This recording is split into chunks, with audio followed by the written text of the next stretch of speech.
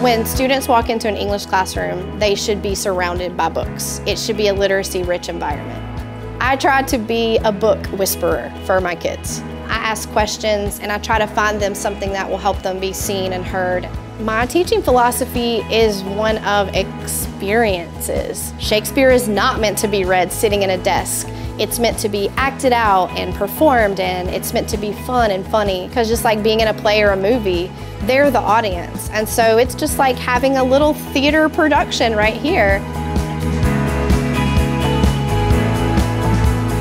In addition to teaching senior English, I teach journalism here. Within that is yearbook, broadcast journalism, and intro to journalism.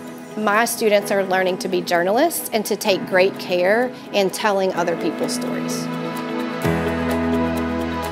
When my students leave my classroom, they're not going to remember, you know, a certain page number or every single word, but I want them to remember the fun and the community and how we just work together as a team and our classroom felt like a family. My philosophy is that we should be having a good time.